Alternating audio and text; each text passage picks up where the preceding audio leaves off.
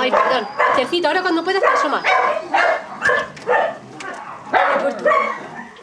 ¿Qué? ¿Qué te